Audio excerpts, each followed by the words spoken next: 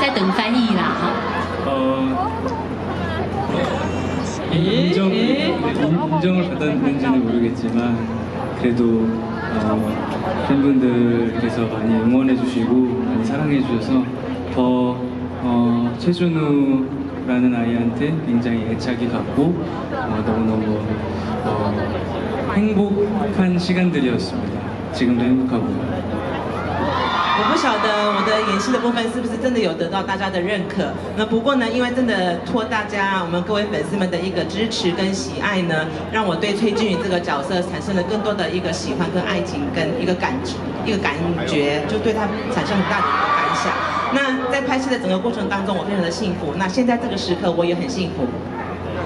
哇，就让我们这个一起 happy together in Taipei，对不对？所以呢，刚刚提到过，他对于这自己的演技，觉得好像，哎，不知道是不是真的得到了高度的肯定跟评价。这边是不是请一下前辈金香启前辈？演戏上是前辈嘛？前辈对于那个旁边这位新人演员的演技，你怎么看？给他一到一百分打个分数。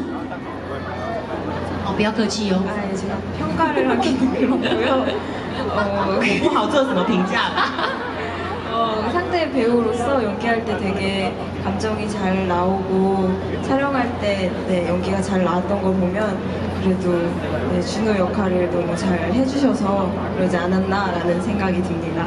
네. 不过在我们在拍戏的过程当中呢，他啊声声优的一个在表情传达的方式跟他的演技方面呢，就很很自然的流露出俊宇的这样子一个感觉出来，所以我觉得他对俊宇这个角色呢，非常的理解跟做了很多的研究。